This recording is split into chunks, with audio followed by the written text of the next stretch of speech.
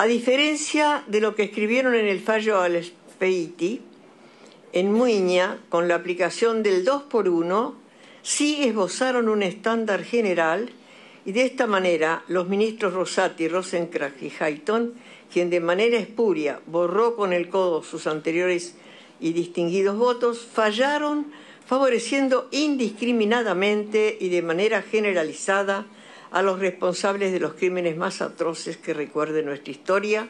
a sabiendas que la doctrina y jurisprudencia aplicable de la Corte Suprema de Justicia de la Nación indicaban lo contrario. La verdad es que me produce profundo, profundo pesar y preocupación el desarrollo de este, de este juicio político y es algo que también me afecta eh, personalmente en términos de mi preocupación por las instituciones de, de nuestro país.